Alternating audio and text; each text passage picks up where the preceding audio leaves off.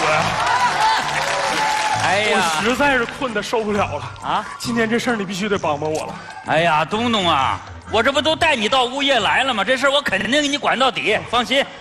哎呀，哎钱总啊，啊，你看啊，以前咱们小区的人就说你这个人吧，啊长得有点歪。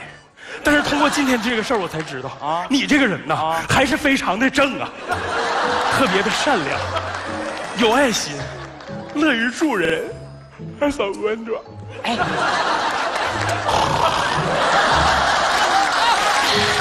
救命！救命啊！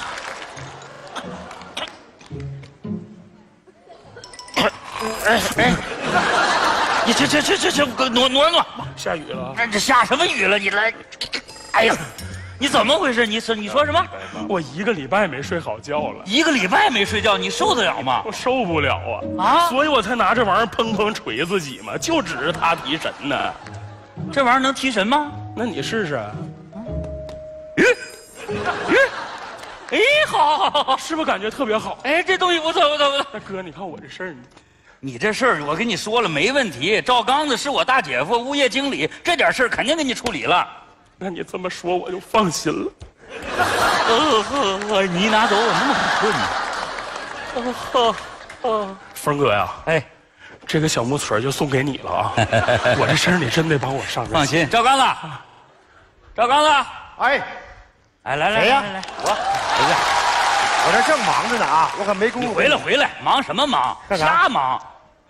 小区出事儿了，出大事儿了。什么事儿啊？东东跟他说，哎呀，东东啊，赵经理哎，你来了，好好，来来来来，坐坐坐坐坐坐啊，怎么回事？赵经理啊，是啊这么个事儿，我跟你说，我我一个礼拜都没睡好觉了，你看我都瘦成什么样了？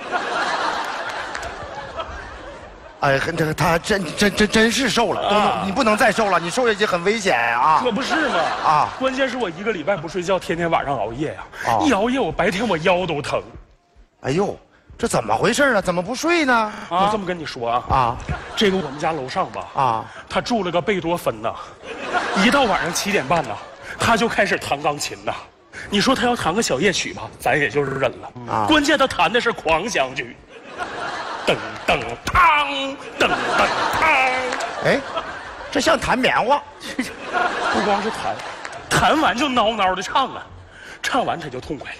我们全小区的人呢，全都反胃了，那东西从胃里到嗓子眼儿的卡着呢。我知道他说的谁了啊他楼上住的是那个搞音乐的张老师。张老师，就他，你上去跟张老师说一说，不就完了吗？我跟他说了呀，啊，我张不了嘴呀，人家是艺术家，我跟他差距太大。再说我一说话，人家直接就从气势上秒杀我。是不是啊哎？张老师是个有性格的人。对对，是你不用管了啊，我来给你办这个事儿。你看是不是？没问题，你就放心吧。喂，哎，张老师啊，你好，我物业赵刚子，你现在有时间来一趟物业吗？啊，行，好好好，我在这等着您啊。哎，赵经理啊，你可不能给他打电话呀，你千万不能让他过来呀。他要过来，那我就得走了。明白，东东，你你走吧，交给我就行了。行，这事儿我就交给你了啊。好了那我先去了。快去吧赵经理，谢谢了啊。好的再见再见，回去吧。是不是？来，搭把手起不来了。哎呦呦呦呦呦呦，这这这这什么情况？这是？来来来，一二三，哎哎呀，我我的妈呀，这两百多斤压得我这腰都受不了。哎呀姐夫哎，你这事儿做的欠考虑啊！怎么的？张老师，青年艺术家，你这么贸然的把他叫到物业来，你跟他一说这事儿，万一人家俩邻居再再打起来，噔噔噔噔噔噔噔，张老师来了噔噔噔。张老师，啊，张老师，你好，你好，你好，你好，你好。找我有事儿？哎，对对，请坐，请坐，请坐。呃，让一下，好好好，起来。坐坐坐坐坐坐坐坐坐坐。哎，坐坐坐坐，，好嘞，好嘞，好嘞。呃，找我什么事儿？抓紧时间说，因为我一会儿还要回去练琴呢。好，张老师啊，啊这个是这样的，嗯，最近这个街坊邻居啊，都反映您这个琴声啊，弹的是越来越动听了。是吗？对，那这这么说，咱们小区居民的音乐素养在不断的攀升啊！张老师哎，我有个问题想问问您，说，您这个怎么每天晚上练琴呢？对呀、哦，这个你有所不知啊。啊主要白天我是要带一带学生，哦所以晚上的时间我是要留给自己练一练基功。技工是什么功？哦，对了，你们可能不懂啊就是基本功。哦，正所谓一天不练自己知道，啊两天不练内行知道，啊三天不练，全世界都知道了。哎呀，张老师啊，就您这个水平，是不是收入不菲啊？对，这多少钱？低俗，不要总跟我谈钱好吗？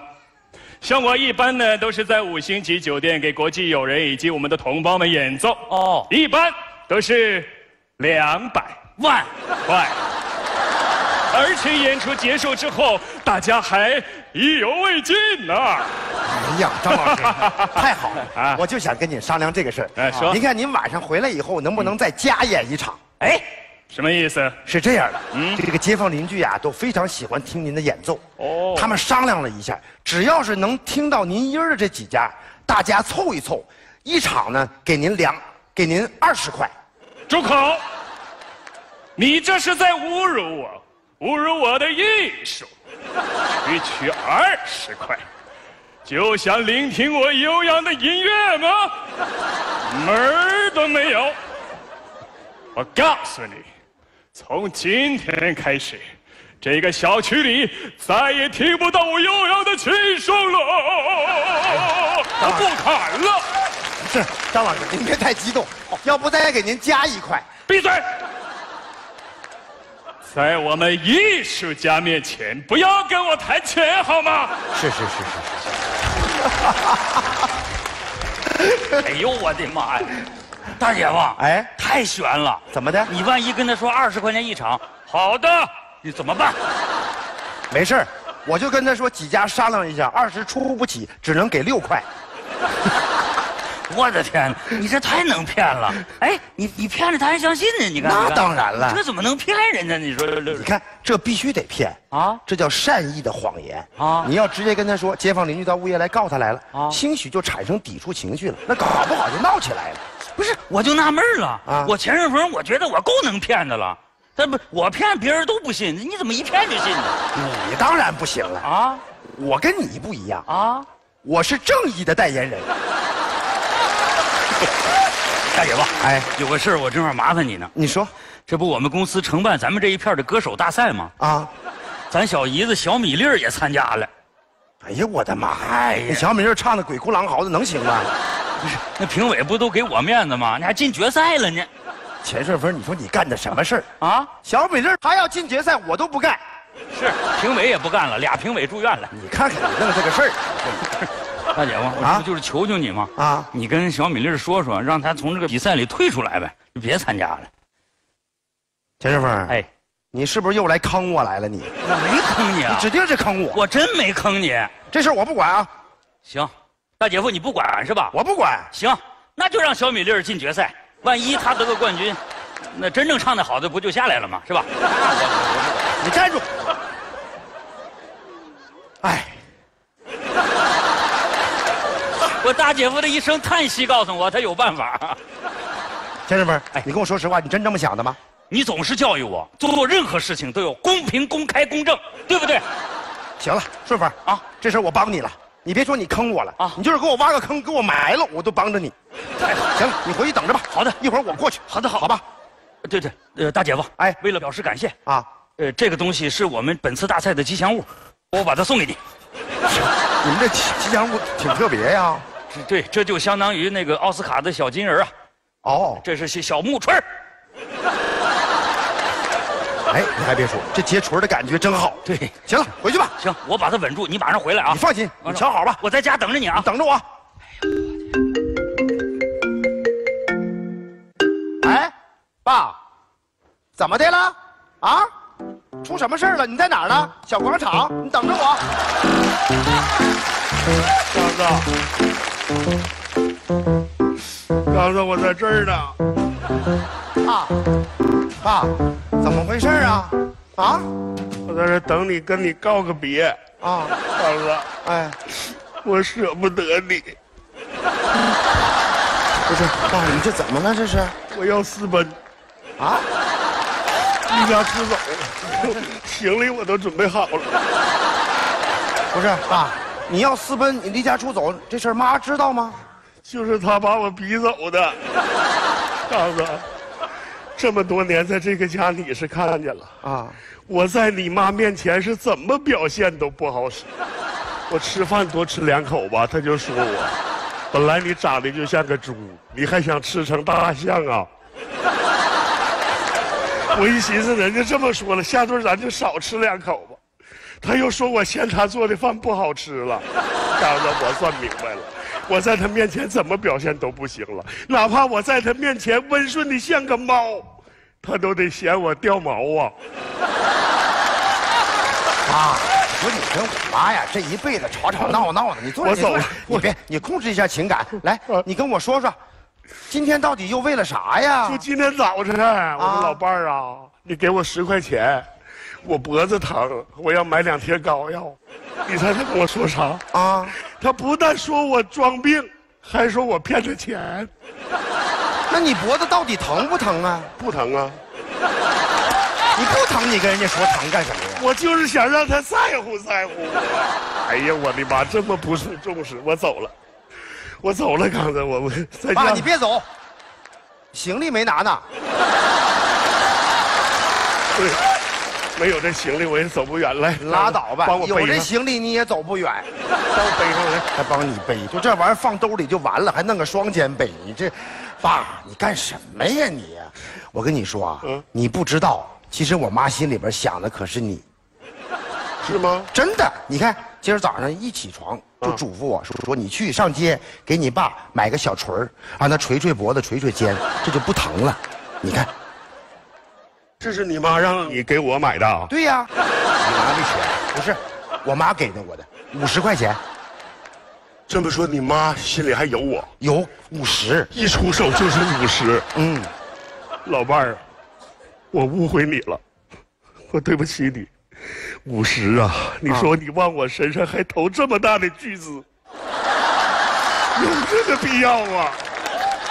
行，嗯，当然，哎，那行了，我错了啊啊，那那我走了。啊，你怎么还走呢？我你妈在那儿跳那个广场舞呢，啊我去给她赔礼道歉。哦我错了，是我没事找事儿。对，这就对了。哎哎，拿着行李哎啊，哎好吧哎，好。我跟你讲啊，爸，我跟你说个事儿啊啊，是这样的。啥事儿你回头见着我妈以后啊嗯，你可别问她这小锤儿的事儿，明白不？为啥呀？我妈她不是，她不是。啊，我明白了，明白。你妈要面子，对你放心，这事儿我保证不说行。不但这事儿不说，下半辈儿别说给我整的，他就给我整秃噜皮了，我啥都不说了。行，爸，你别说啊。啊，不说。喂，顺风啊，啊，啊，我马上就回家，你放心吧，你先坚持住啊。好的，你放心，交给我。好的，好的。就这样被你征服，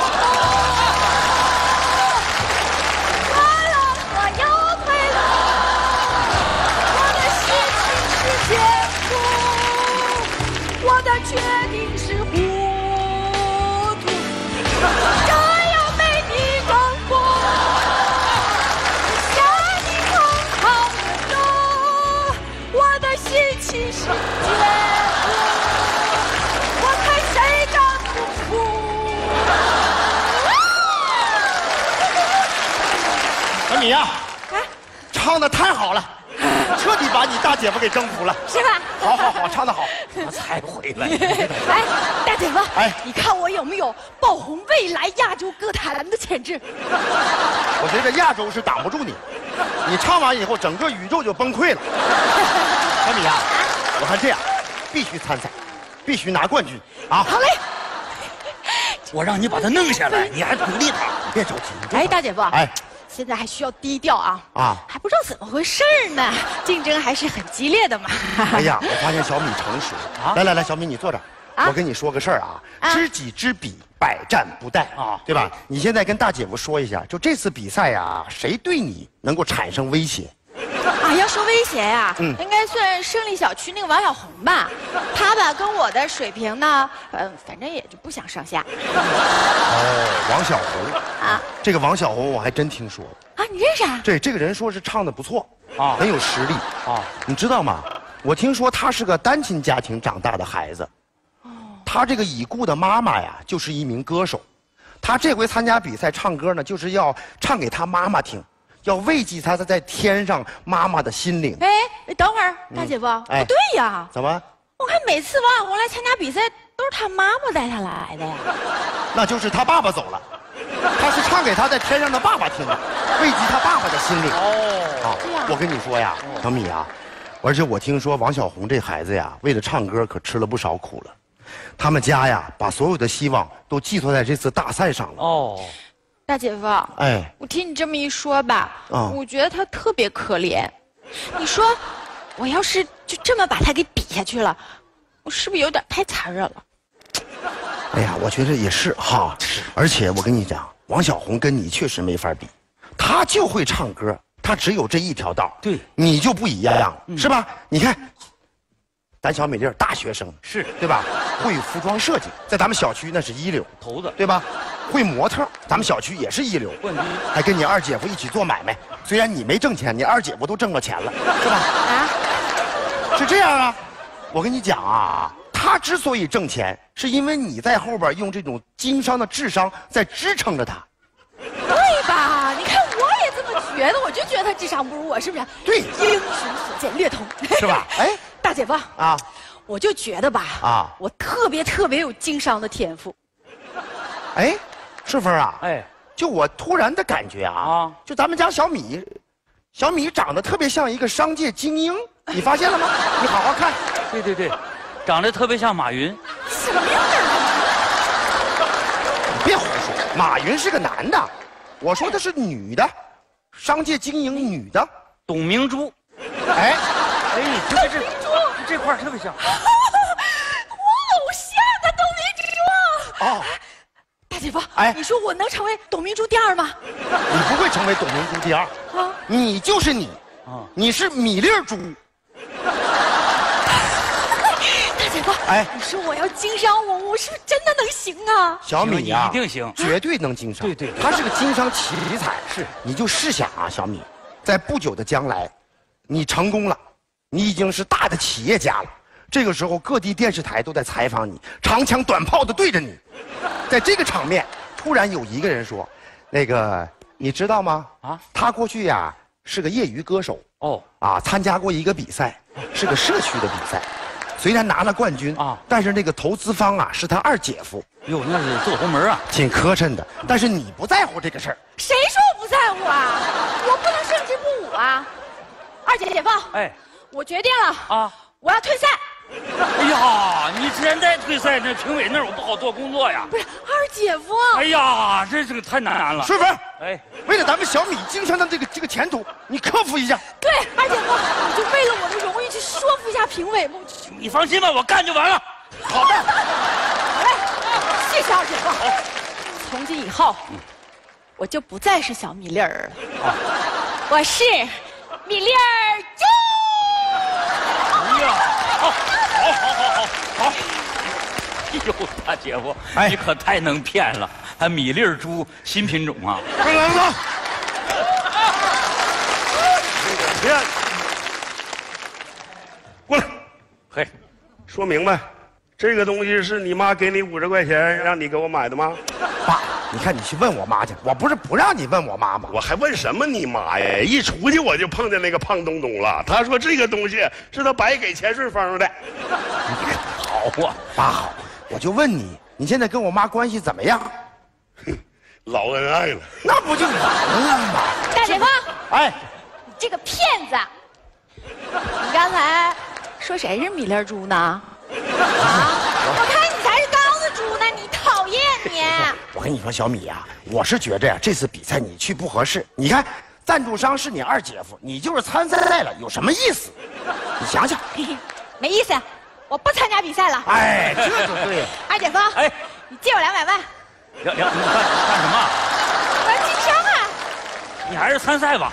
讨厌那么借我两百万，你欠欠我可以借人家两百万的，我给你人家200是商界奇才。对，我觉得，哎，爸爸，我回来了。啊，爸爸，哎我做完比赛成绩下来了，我拿了一等奖。哎呦，你看我女儿拿的是一等奖啊你！的作文什么题目啊？我的作文题目是“我的爸爸是个骗子不是，这叫什么题目啊？啊，怎么选这么个题目啊？选的好。哎，我们早就发现了，这赵刚子就是个骗子。哎呀，写的好啊，非常真实。来，给大家伙念念。”。啊，好，哎，念念啊。来，坐着听。好，好好念啊，大骗子，听好了。我的爸爸是个骗子，他总说他不爱吃肉，但是每次我故意剩在碗里的肉，他都给吃了，吃的可干净了。我的爸爸是个骗子，他总说他不累，但是我发现他会趁大家不注意的时候偷偷的捶腿。我的爸爸是个骗子。他总说他最爱穿的衣服是那件物业发的制服，可是我总发现他在没有人的时候穿我二姨夫的衣服，对着镜子笑。我的爸爸是个骗子，他总说他做着世界上最快乐的工作，但是有一次我看到一个阿姨大声地训斥他，他一直笑着。阿姨走了以后，我看见她哭了。我的爸爸是个骗子，他的谎言是在帮助身边的每一个人，让大家感到快乐。我爱这个骗子。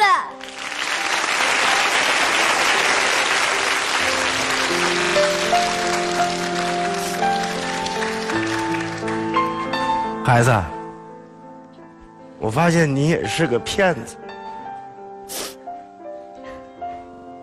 你怎么在爸爸不知不觉中，就突然长大了呢？爸爸爱你。